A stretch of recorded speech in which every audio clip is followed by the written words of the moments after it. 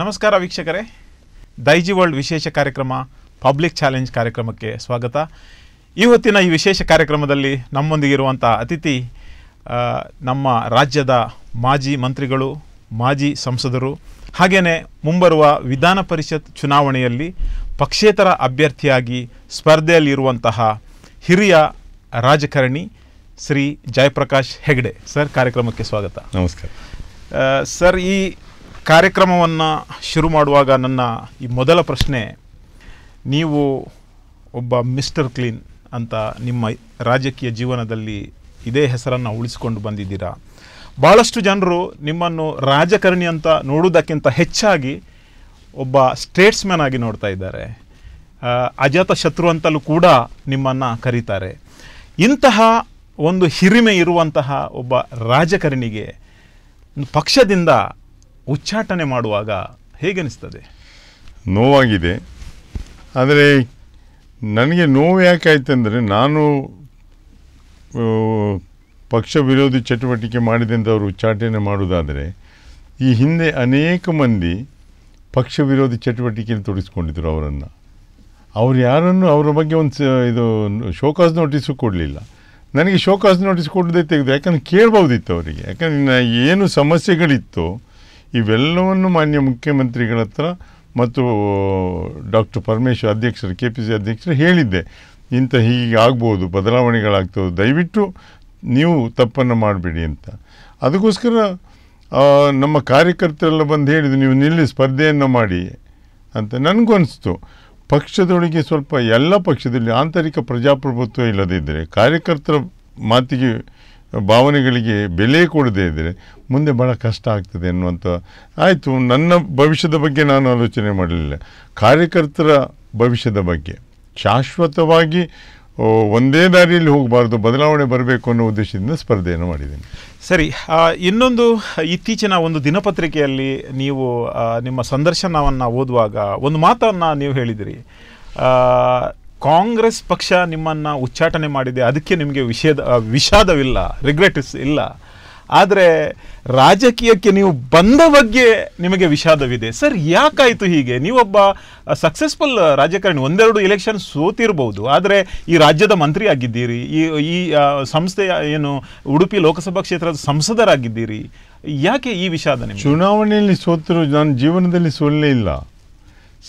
ನಾನು ಯಾವತ್ತೂ ನಾವು ಲೆಕ್ಕವನ್ನು ಹಾಕಬೇಕಾದದ್ದು ಚುನಾವಣೆ ಗೆಲುವುಗಳು ನಾನು ಎಷ್ಟು ಸಮಯದವರೆಗೆ ಶಾಸಕನಾಗಿದ್ದೆ ಮಂತ್ರಿ ಆಗಿದ್ದೆ ಇದ್ದಂಥ ಅವಧಿಯಲ್ಲಿ ನಾನು ಏನನ್ನು ಸಾಧಿಸಿದೆ. ಅದರ ಬಗ್ಗೆ ತೃಪ್ತಿ ಇದೆ ನನಗೆ.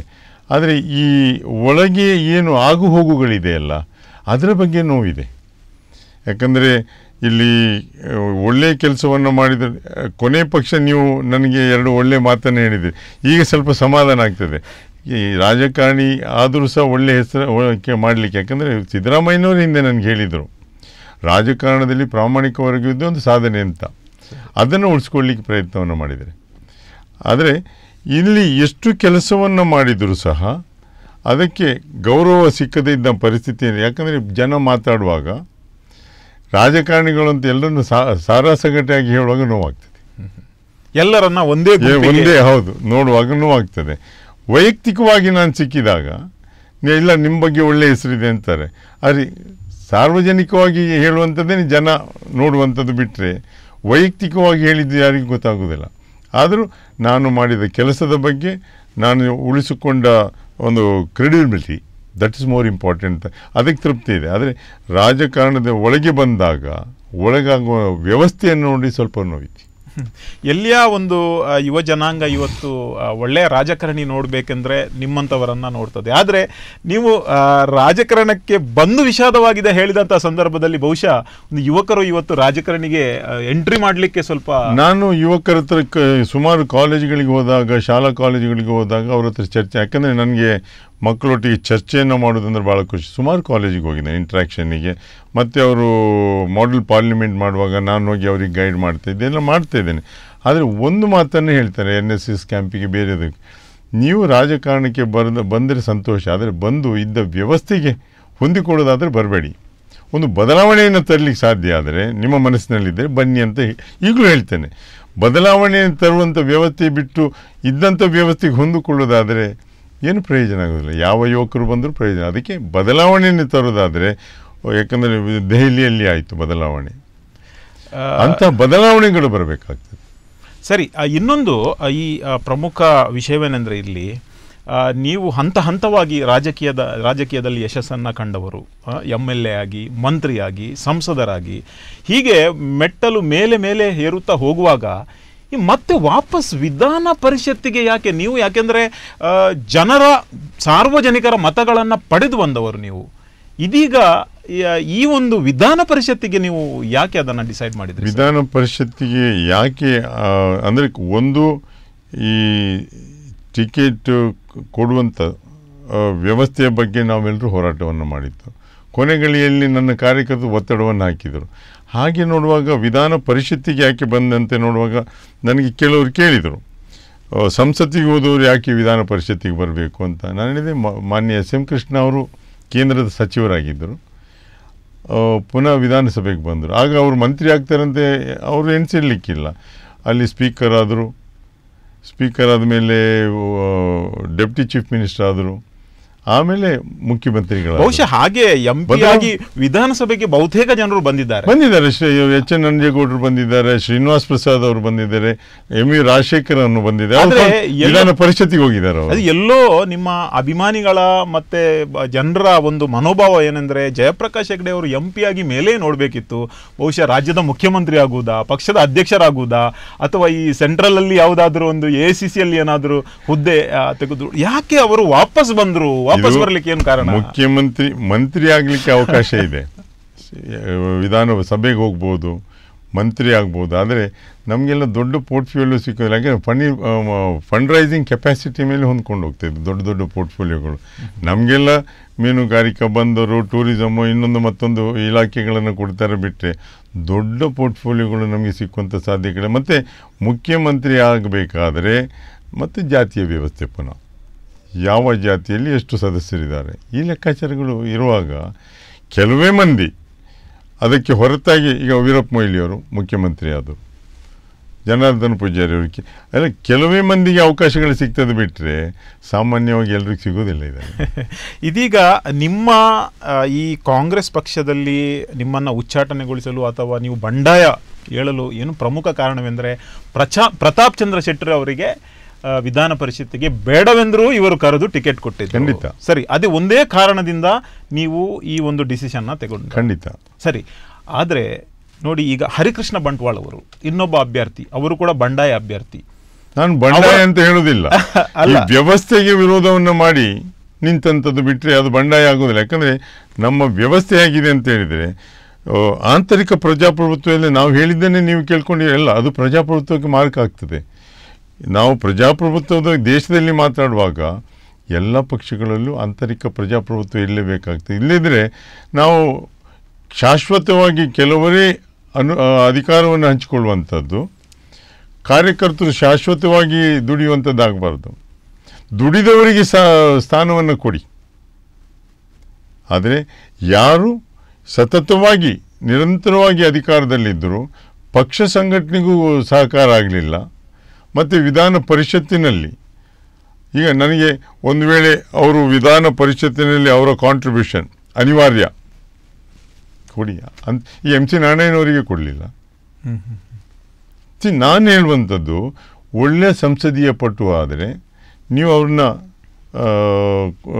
ಆಯ್ಕೆ ಮಾಡಿ ಕಳಿಸಿ. ಬಹಳ ಸಂತೋಷ ಆಗ್ತದೆ. ಅಂಥ ಪರಿಸ್ಥಿತಿಯಲ್ಲಿ ನಾವು ವಿರೋಧವನ್ನು ಮಾಡಿದರೆ ಜನ ನಮ್ಮನ್ನು ತಪ್ಪು ತಿಳ್ಕೊಳ್ತಾರೆ. ಒಂದು ವೇಳೆ ನಿಮ್ಮ ಕಾಂಟ್ರಿಬ್ಯೂಷನ್ ಏನಿಲ್ಲದೆ ಈಗ ಅವರಿಗೆ ನಾನು ಉದಾಹರಣೆಯನ್ನು ಕೊಡ್ತೇನೆ ಮನೆ ಪ್ರತಾಪ್ ಚಂದ್ ಶೆಟ್ಟರು ಮೂವತ್ತು ಇಪ್ಪತ್ತು ವರ್ಷ. ವರ್ಷಗಳ ಕಾಲ ಶಾಸಕರಾಗಿದ್ದರು ವಿಧಾನಸಭೆಯಲ್ಲಿದ್ದರು. ಹನ್ನೆರಡು ವರ್ಷಗಳ ಕಾಲ ವಿಧಾನ ಪರಿಷತ್ನಲ್ಲಿದ್ದರು. ಸರಿ. ಅಲ್ಲ ನನಗೆ ಅನೇಕ ಇದನ್ನು ಕೊಟ್ಟಿದ್ದೇವೆ, ಅವಕಾಶವನ್ನು ಕೊಡಿ, ಹೌದು. ಕುಂದಾಪುರದಲ್ಲಿ ಸೋಲುವಾಗ ಅವಕಾಶವನ್ನು ಕೊಟ್ಟರು ಪ್ರಥಮ ಬಾರಿಗೆ ವಿಧಾನ, ಲೋಕಸಭೆಗೆ ನಿಲ್ಲಲಿಕ್ಕೆ ಯಾರೂ ರೇ, ತಯಾರಿಲ್ಲದಿದ್ದಾಗ ನನಗೆ ಒತ್ತಡವನ್ನು, ಆಯಿತು, ಪಕ್ಷ ಉಳಿಬೇಕಾದ್ರೆ ನೀವು ನಿಲ್ಲಬೇಕು ಅಂದರೆ ಆಯಿತು ಅಂತ ನಿಂತೆ.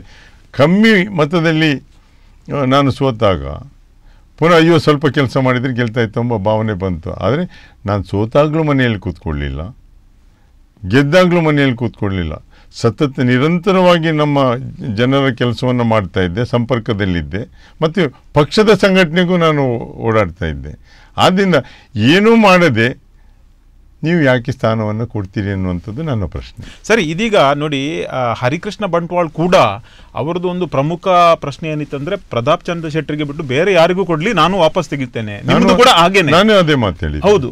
ಅಂತ ಒಂದು ಸಂದರ್ಭದಲ್ಲಿ ಹರಿಕೃಷ್ಣ ಬಂಟ್ವಾಳ್ ಪಕ್ಷದಲ್ಲಿ ಇದ್ದು ಮೂವತ್ತ್ಮೂರು ವರ್ಷ ಇದ್ದೂಪ ಯಾವುದೇ ಅಧಿಕಾರವನ್ನು ಅವರು ತೆಗೆದುಕೊಳ್ಳಿಲ್ಲ. ಅವರಿಗೆ ಒಂದು ಸಪೋರ್ಟ್ ಮಾಡಬೇಕಂತ ನಿಮಗೆ ಒತ್ತಡ ಬರಲಿಲ್ವಾ? ಅಥವಾ ನೀವು ಅದರ ಬಗ್ಗೆ ಯೋಚನೆ ಮಾಡಲಿಲ್ಲ ನಾವು ನಾವು ಚರ್ಚೆಯನ್ನು ಮಾಡಿತ್ತು. ನಾನು ಅವರ ಹತ್ರ ಕೇಳಿದ್ದೆ. ಈಗ ನಮ್ಮಲ್ಲಿ ಅನೇಕ ಮಂದಿ ಯಾರು ನಾಮಪತ್ರವನ್ನು ಸಲ್ಲಿಸಿದ್ರು, ಅವ್ರಿಗೆ ಹೇಳಿದ್ರು, ನೀವೇ ನಿಲ್ಲಿ, ನಾವು ವಾಪಸ್ ತೆಗಿತೇವೆ. ನಾನು ಹೇಳಿದೆ, ನೀವು ಯಾರಾದರೂ ನಿಲ್ಲಿ ಅಂತ. ಆದರೆ ಹರಿಕೃಷ್ಣ ಬಂಟ್ವಾಳು ಅವರ ತೀರ್ಪಿಗೆ ನಾನು ಗೌರವವನ್ನು ಅವರ ಬಗ್ಗೆ ಏನು ಚರ್ಚೆಯನ್ನು ಮಾಡಲಿಕ್ಕೆ ಇಚ್ಛೆಯನ್ನು ಪಡೋದಿಲ್ಲ ಅವರು ತೀರ್ಪಿಗೆ, ತೀರ್ಮಾನಕ್ಕೆ ನಾನು ಗೌರವವನ್ನು ಕೊಡ್ತೇನೆ. ಅವರು ಸ್ಪರ್ಧೆಯನ್ನು ಮಾಡಿದ್ದಾರೆ. ನಾವು, ಆದರೆ ನಮ್ಮಲ್ಲಿ ಉದ್ದೇಶ ಬದಲಾವಣೆ ಬರಬೇಕಿತ್ತು ಅಂತ ಅಷ್ಟೇ. ಸರ್ ಇದೀಗ ನೀವು ಬಹಳಷ್ಟು ನಿಮ್ಮ ಉಡುಪಿ ಮತ್ತು ದಕ್ಷಿಣ ಕನ್ನಡ ಜಿಲ್ಲೆಗಳಲ್ಲಿ ಪ್ರಚಾರಕ್ಕೆ ತೆರಳಿದ್ದೀರಾ? ಕಾರ್ಯಕರ್ತರು ನಿಮ್ಮ ಹಿಂದಿನ ಕಾರ್ಯಕರ್ತರು ಈಗಿನ ಅಭಿಮಾನಿಗಳು ಹಾಗೇನೆ ಮತದಾರರು ಕಾರ್ಯಕರ್ತರೆ? ಓಪನ್ ಆಗಿ ಓಪನ್ ಆಗಿ ಇದ್ದಾರೆ ಓಪನ್ ಆಗಿಯೂ ಇದ್ದಾರೆ. ಓಕೆ ಈ ಮತದಾರರು ಯಾವ ರೀತಿ ನಿಮ್ಮನ್ನ ಸ್ಪಂದನೆ ಸ್ಪಂದಿಸಿದ್ದಾರೆ ನಿಮ್ಮ ನಾನು ಹೋದಾಗೆಲ್ಲ ಒಳ್ಳೆ ಅಭಿಪ್ರಾಯ ಮೂಡಿದೆ. ಅಭಿಪ್ರಾಯವನ್ನು ಕೊಡ್ತಾ ಇದ್ದಾರೆ. ಆದರೆ ಬಹಳ ದೊಡ್ಡ ನೋವಂತರೆ ಈ ಕೆಲವು ಮುಖಂಡರುಗಳ ಅಂತ ಎನಿಸಿಕೊಂಡವರು ಯಾಕಂದ್ರೆ ಮುಖಂಡರಾಗಿದ್ದರೆ ಈ ಮಾತು ನಾನು ಯಾಕೆ ಹೇಳ್ತೇನೆ ಅಂತ ಹೇಳಿದರೆ ಕಾರ್ಯಕರ್ತರ ಅವರು ಪಕ್ಷದ ಕಾರ್ಯಕರ್ತರ ಸಭೆಯನ್ನು ಕರೆದು ಅವ್ರು ಹೇಳ್ತಾರಂತೆ ನೀವು ಯಾರಿಗೆ ಮತ ಹಾಕಿದ್ದೀರಿ ಅಂತ ಗೊತ್ತಾಗ್ತದೆ? ನಿಮ್ಮ ಇದು ಏನು ಕ್ಯಾ ಪೆನ್ ಕ್ಯಾಮರಾ. ಅದರಲ್ಲೇ ರೆಕಾರ್ಡ್ ಮಾಡ್ತೇವೆ. ಓಕೆ. ಆಮೇಲೆ ಇಬ್ಬರಿಬ್ಬರು ಕೆಲವು ಕಡೆಯಲ್ಲಿ ಇಬ್ಬರಿಬ್ಬರು ಒಟ್ಟು ಹೋಗಬೇಕು ಒಬ್ರಿಗೊಬ್ಬರು ತೋರಿಸಿ ಬರಬೇಕು. ಆಮೇಲೆ ನಿಮ್ಮ ಬೂತ್ನಲ್ಲಿ ಎಷ್ಟು ಬಂದಿದೆ ಅಂತ ನಮಗೆ ಗೊತ್ತಾಗ್ತದೆ, ಯಾಕಂದರೆ ಬೂತ್ ಲೆಕ್ಕದಲ್ಲಿ ಮಟ್ಟದಲ್ಲಿ ಲೆಕ್ಕವನ್ನು ಮಾಡ್ತಾರೆ ಅಂತ. ಅದು ಪ್ರಜಾಪ್ರಭುತ್ವಕ್ಕೆ ಮಾರಕ ಅಂತ ಎಣಿಸ್ತೇನೆ ನಾನು. ಇಷ್ಟು ವರ್ಷಗಳ ನಂತರವೂ ಇವರು ಜ ಮತದಾರರನ್ನು, ಅದು ಸ್ಥಳೀಯ ಸಂಸ್ಥೆಯ ಪ್ರತಿನಿಧಿಗಳಿಗೆ ಇಂಥ ಮಾತು ಹೇಳಿ ಹೆದರಿಸೋದಾದರೆ ನಾನು ಕೆಲವರಿಗೆ ಹೇಳಿದೆ ರೆಕಾರ್ಡ್ ಮಾಡ್ಕೊಳ್ಳಿ ಅಂತ ಹೇಳಿದ್ದೇನೆ. ಅದನ್ನು ರೆಕಾರ್ಡ್ ಮಾಡಿ ನಾವು ಎಲೆಕ್ಷನ್ ಕಮಿಷನಿಗೆ ಕಂಪ್ಲೇಂಟ್ ಕೊಡುವ ಅಂತ ಹೇಳಿದ್ದೇನೆ. ಇವತ್ತು ಬೆಳಿಗ್ಗೆ ಸಹ ಕಾಪುವಲ್ಲಿ ಈ ಚರ್ಚೆ ನಡೀತಂತೆ. ಬಹುಶಃ ಅಂತ ಒಂದು ಹಿರಿಯ ಮುಖಂಡರಿಗೆ ಒಂದು ಇನ್ಸೆಕ್ಯೂರಿಟಿ ಆಲ್ರೆಡಿ ಫೀಲ್ ಆಗಿದೆ ಅಂತ they don't deserve to be representatives ಅಂತ ನಾನು ಹೇಳ್ತೇನೆ. ಅವರು ಮಂತ್ರಿಗಳಾಗ್ಲಿಕ್ಕೂ ಶಾಸಕರಾಗಿ ಅನರ್ಹರು ಅನ್ನೋ ಮಾತನ್ನು ಹೇಳಲಿಕ್ಕೆ ಇಚ್ಛೆ ಸರಿ ಸರ್ ಇದೀಗ ಒಂದು ಕರೆ ಕಾಯ್ತಾ ಇದೆ. ರಾಜೇಶ್ ಕುಂದಾಪುರದಿಂದ. Hello hello. ಹಲೋ ನಮಸ್ಕಾರ ರಾಜೇಶ್ ಜಯಪ್ರಕಾಶ್ ಹೆಗಡೆ ಅವರಿದ್ದಾರೆ ಮಾತಾಡಿ. ನಮಸ್ತೆ ಹೆಗಡೆ ಅವರೇ. ನಮಸ್ತೆ ಹೇಳಿ ರಾಜೇಶ್ ಅವರೇ. ನಮ್ಮ ತಾಯಿ ಪಂಚಾಯತ್ ಮೆಂಬರ್. ಹಾಂ. ಅವರು ಕೌಂಟಿಂಗ್ ತುಂಬಾ ಕನ್ಫ್ಯೂಷನ್ ಅಲ್ಲಿ ಇದ್ದಾರೆ. ವೋಟ್ ಹಾಕಿ ಗೊತ್ತಾಗ್ತದೆ ಅಂತ ಮೆಸೇಜ್ ಇದೀಗ ಅದೇ ವಿಷಯವನ್ನ ಅವರು ಮಾತಾಡ್ತಾ ಇದ್ರು ಈಗ. ಬಹುಶಃ ನೀವು ನಿಮ್ಮ ಎಲ್ಲ ಮತದಾರರಿಗೆ ಈ ಮೂಲಕ ಒಂದು ಕ್ಲಿಯರ್ ಆದ ಮೆಸೇಜ್ ಅನ್ನ ಕೊಡ್ಬೋದು. ಇದು ಬ್ಲಾಕ್ ಮೇಲ್ ಮಾಡ್ತಾರೆ. ನೀವು ಓಟ್ ಹಾಕಿದ್ ಗೊತ್ತಾಗ್ತದೆ ನೆಕ್ಸ್ಟ್ ನಮ್ಗೆ ಅಂತ ತಾಯಿಗೇನು ಇರಿಸ್ತಾ ಇದ್ದಾರೆ. ಬಹುಶಃ ಪ್ರಜಾಪ್ರಭುತ್ವದಲ್ಲಿ ವೋಟಿಂಗ್ ಏನು ಗುಪ್ತ ಮತದಾನ ಏನಿದೆ ಅದು ಬಹಿರಂಗವಾಗುವುದ ಯಾವುದೇ ಒಂದು ಸಂದೇಹ ಅದರಲ್ಲಿ ಇಲ್ಲ ಸರ್. ನಾನು ನೋಡಿ ಈ ಅದೇ ಪ್ರಶ್ನೆ ಬಂತು ಈಗ.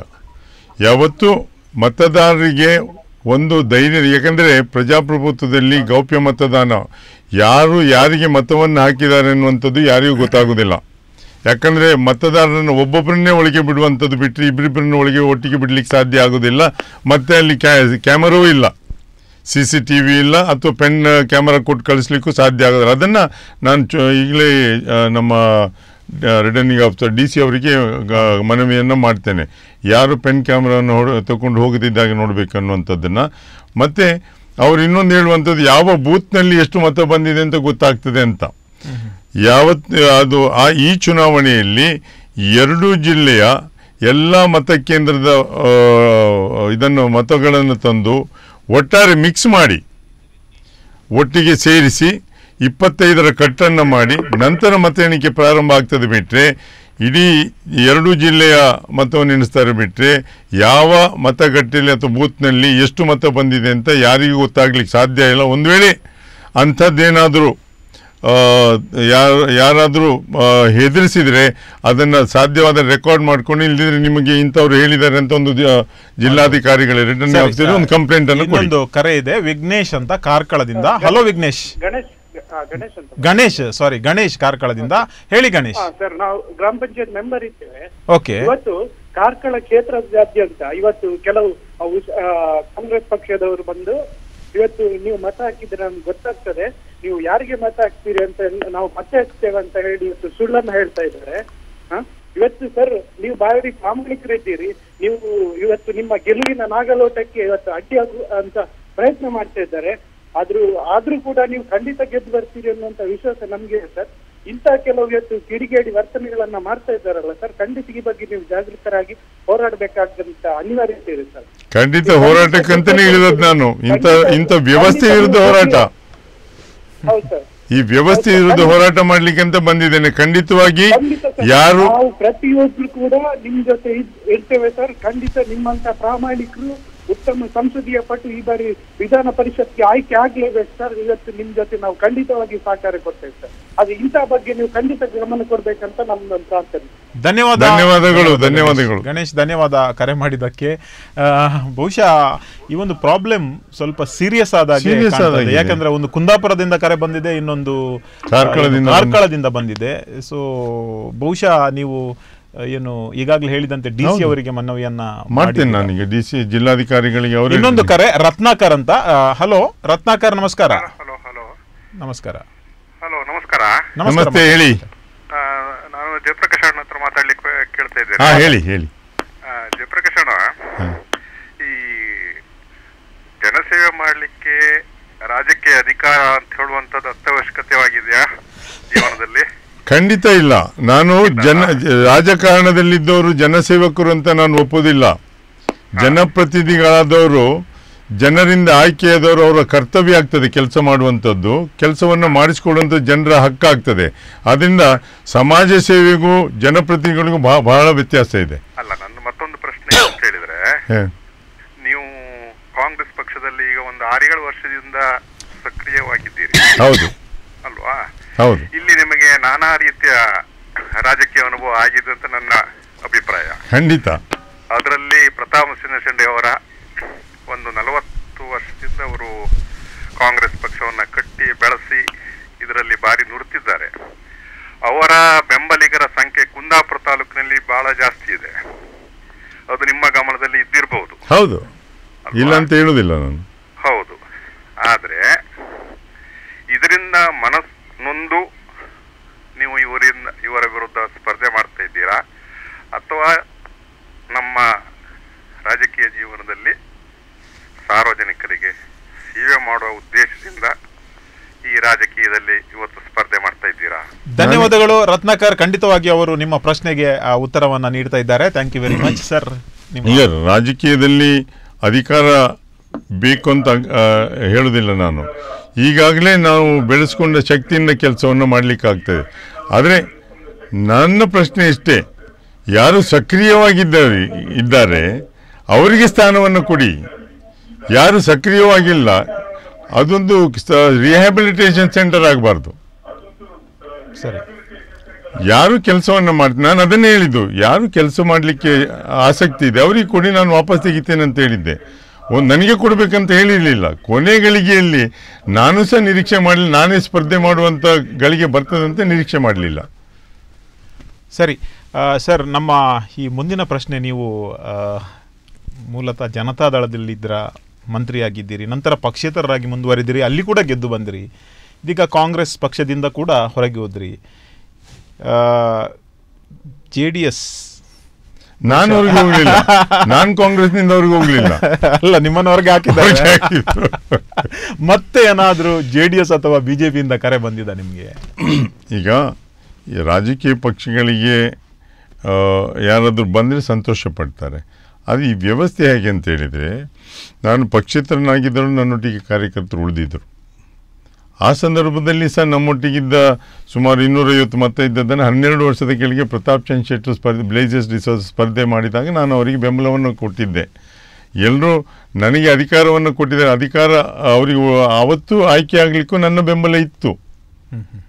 ಸಿ, ನನಗೆ ನೇರವಾಗಿ ಯಾವ ಸ್ಥಾನವನ್ನು, ಈಗ ಕಾಂಗ್ರೆಸ್ಸಿಗೆ ಬಂದ ಮೇಲೆ ಕುಂದಾಪುರದ ಸೀಟನ್ನು ಕೊಟ್ಟರು ಅದು ಸೋಲುವಂಥದ್ದಂತ ಅವರಿಗೂ ಗೊತ್ತಿತ್ತು. ಯಾರು ನಿಲ್ಲಕ್ಕೂ ತಯಾರಿರಲಿಲ್ಲ.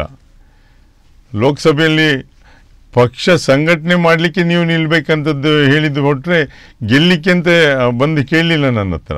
ಅದನ್ನು ನಾನು ನಿಂತಿದ್ದೇನೆ. ಪಕ್ಷದ ಒಳಗೆ ಬಂದದ್ದಕ್ಕೆ ನೋ ರಿಗ್ರೆಟ್ಸ್ ನನಗೆ ಅನುಭವಗಳಾಗಿದೆ.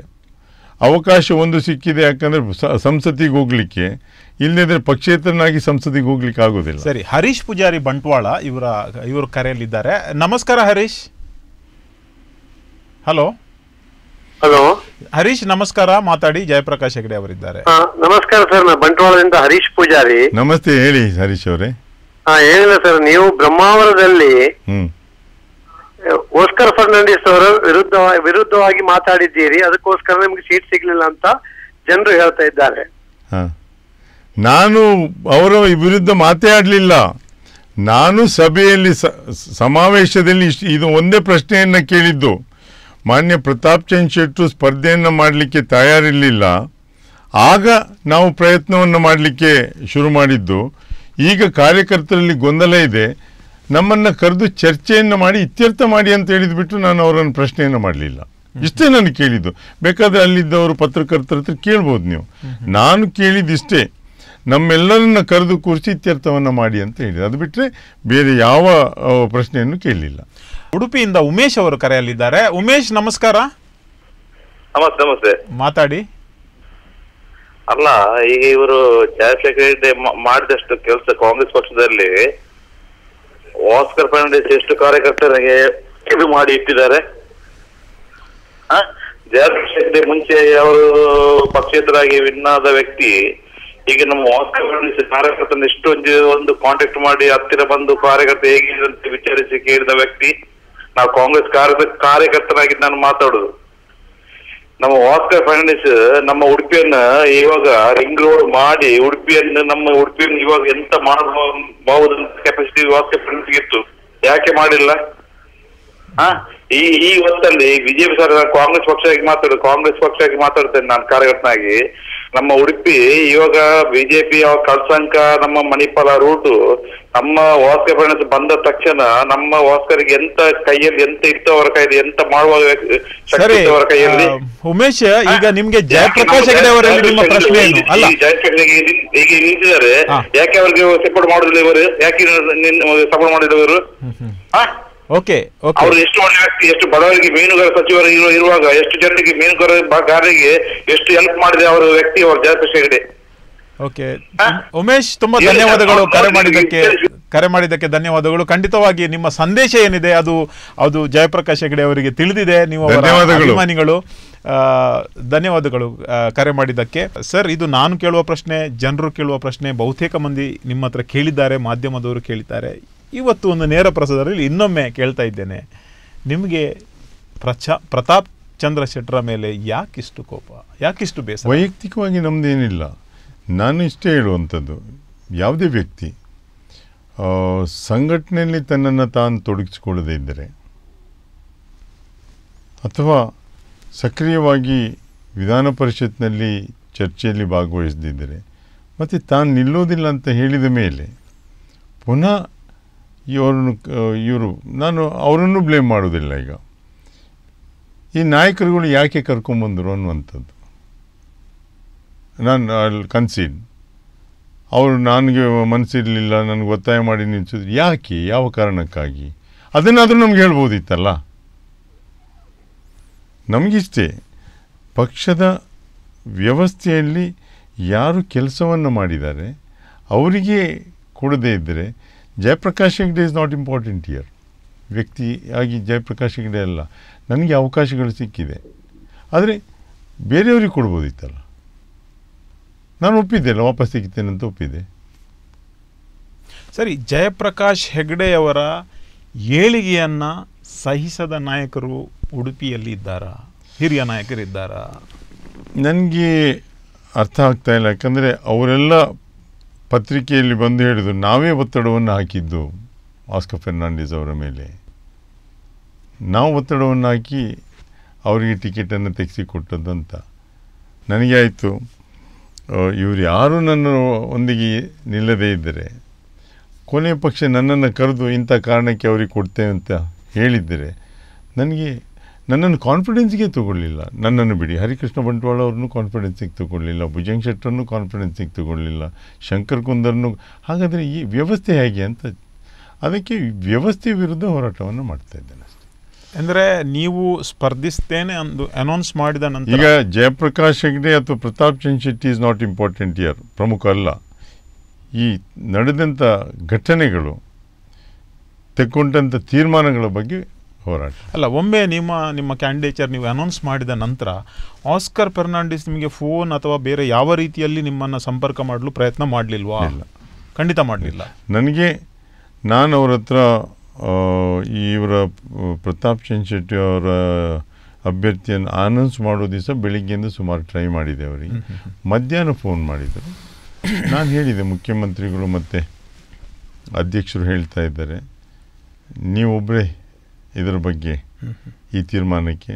ಅವ್ರು ಹೇಳಿದ್ರು it's a collective decision D C ಸಿಯಲ್ಲಿ ಚರ್ಚೆ ಡಿ ಸಿ ಸಿಯಲ್ಲಿ ಚರ್ಚೆ ಆಗಲಿಲ್ಲ ಅಂತ ನಾನು ಹೇಳಿದ್ದೆ ಅವರಿಗೆ. ಅದರಿಂದ ಅದರ ಬಗ್ಗೆ ಮುಂದೆ ಚರ್ಚೆಗೆ ಹೋಗದೆ ಅದರ ಬಗ್ಗೆ ಮಾತಾಡೋದು ಬಿಡೋಣ. ಯಾಕಂದ್ರೆ ಮುಂದೆ ನಮಗೆ ಬೇಕಾದದ್ದು ಏನನ್ನು ಮಾಡಲಿಕ್ಕಿದೆ? ನವೀನ್ ಡಿಸೋಜಾ ಎಂಬುವರು ಕಿನ್ನಿಗೋಳಿಯಿಂದ ಕರೆಯಲ್ಲಿದ್ದಾರೆ.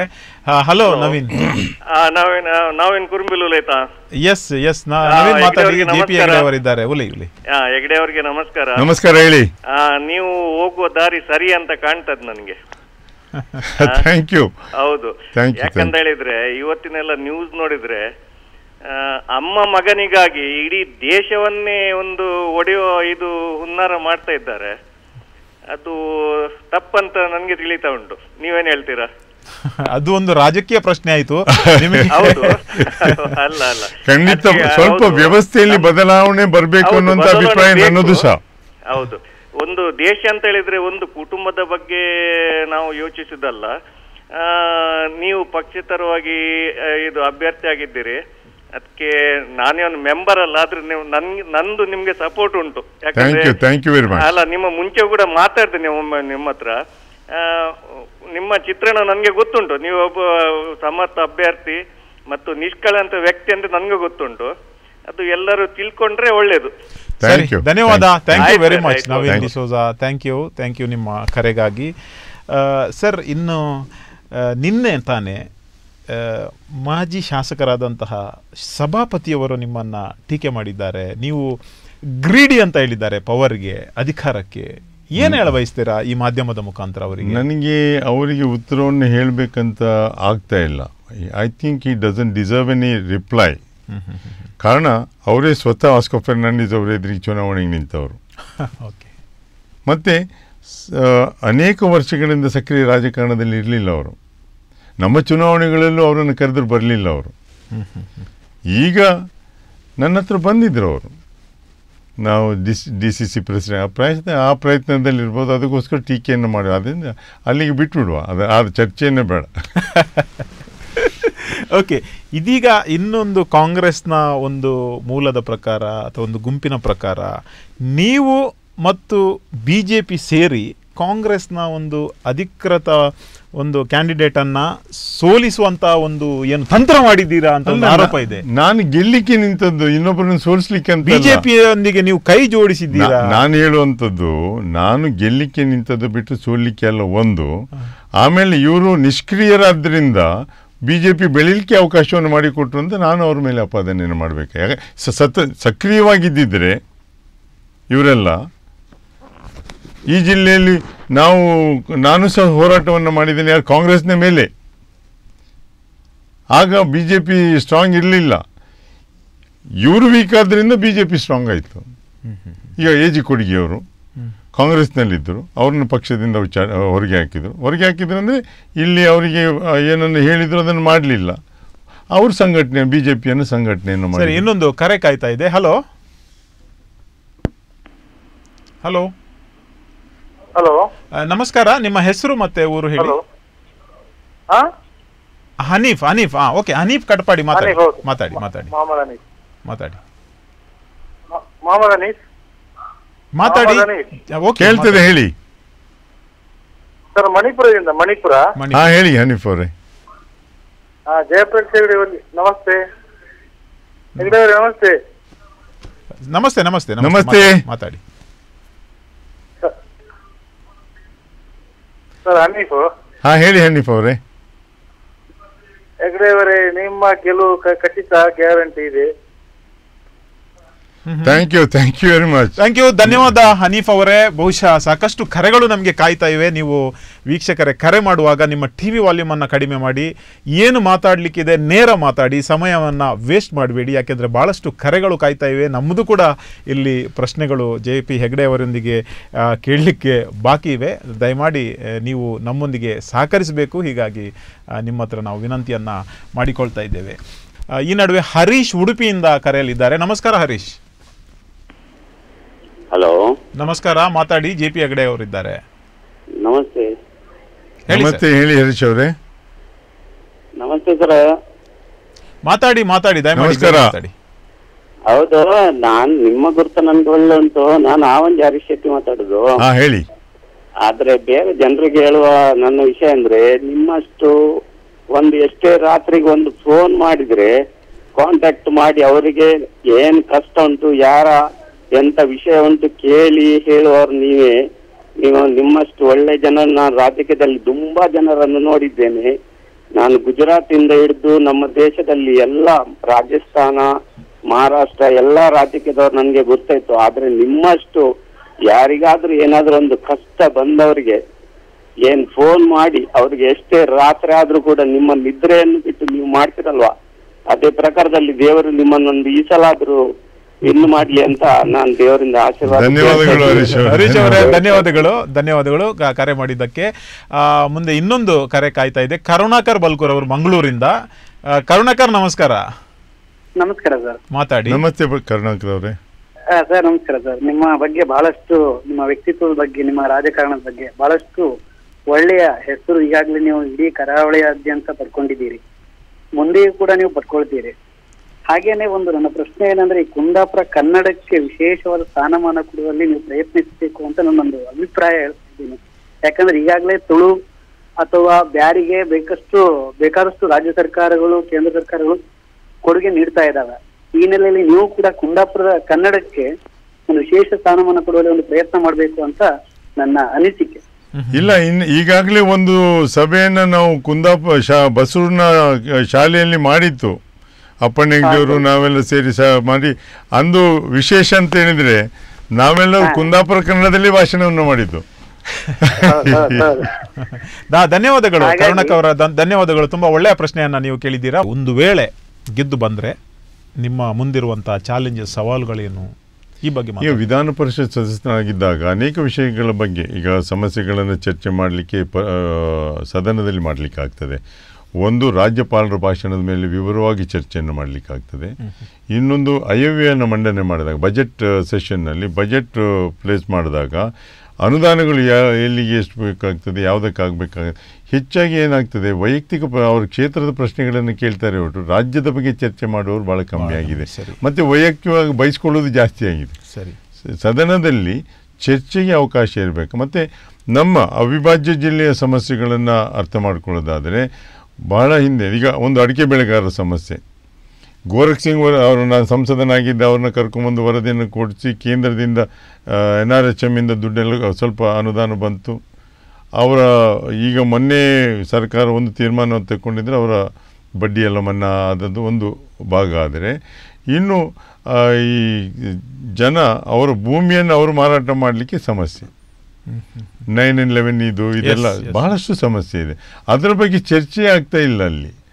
ಈ ಮರಳಿದು ದೊಡ್ಡ ಸಮಸ್ಯೆ ಜಲ್ಲಿದು ಇನ್ನೊಂದು ಸಮಸ್ಯೆ ವೈರಿಂಗ್ ಇದು ಇವೆಲ್ಲವನ್ನು ಪರಿಹಾರವನ್ನು ಕಂಡಿಡಲಿಕ್ಕೆ ಸಾಧ್ಯ ಆಗ್ತಾ ಇಲ್ಲ. ಆದರೆ ಯಾಕೆ ಆಗ್ತಾ ಇಲ್ಲ ಅನ್ನುವಂಥದ್ದು ಅಂದರೆ ಜನಪ್ರತಿನಿಧಿಗಳು ಅದರ ಬಗ್ಗೆ ಹೆಚ್ಚು ಆಸಕ್ತಿಯನ್ನು ವಹಿಸಿ ಸಭೆಗಳು ಈಗ ನಾನು ಹಿಂದೆ ಸಂಸದನಾಗಿದ್ದಾಗಲೇ ನಂತರವೂ ಮು ಈ ಇದಿದೆಯಲ್ಲ ಯಾವುದು?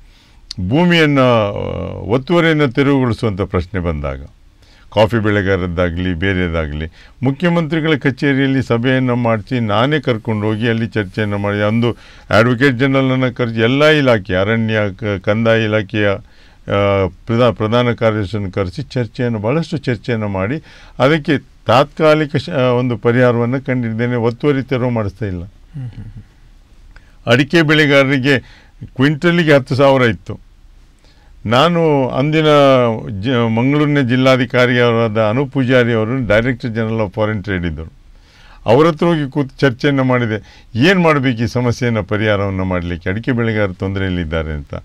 ಅವರು ಕಡೆಗೆ ಹೇಳಿದರು, ನಾನು ಹೇಳಿದೆ, ಡ್ಯೂಟಿ ಜಾಸ್ತಿ ಮಾಡಲಿಕ್ಕೆ ಆಗ್ತದ ಕೇಳಿದೆ.